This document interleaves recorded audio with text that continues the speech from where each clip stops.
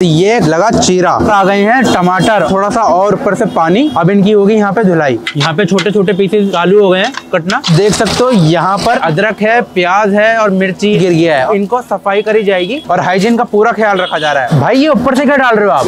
है पूरा का पूरा पतीला चूल्हे पे चढ़ चुका है इसको उबाला जाएगा जीरा दालचीनी अब इसके ऊपर ढका जाएगा मसाला ये पूरा का पूरा उबल चुका है और अब ये पीसा जाएगा यहाँ पे मसाला पीसने में दो मिनट भी नहीं लग रहे अब इसमें दही डाली जा रही है पूरी पिसके जाएगी जाएगी ये भी तो मतलब अब इसको सिर्फ आधा पलटा जाएगा इसमें हाँ। पूरे के पूरे पतीले को रख दिया है बाकी बचे हुए मसाले को इसमें और पलट दिया है भैया ये कौन सा मसाला है पीली मिर्च अभी लाल मिर्च डल चुकी है इसके ऊपर प्योर घी डाल चुके हैं और पूरा का पूरा पैकेट जाएगा घी धीरे धीरे पिघलने लग जाएगा इसमें और ये आ गई है हमारी कढ़ाई अब यहाँ पर चिकन के पीसेस डाले जा रहे हैं ऊपर से डाली जा रही है चिकन ग्रेवी की कस्तूरी मिर्च थी और गरम मसाला अब इनको चलाया जा रहा है ऊपर से तेल आ चुका है और ये ऊपर से इतनी सारी क्रीम डल चुकी है ऊपर से डल रहा है अदरक और हरा धनिया और अब ये तैयार हो चुका है पूरा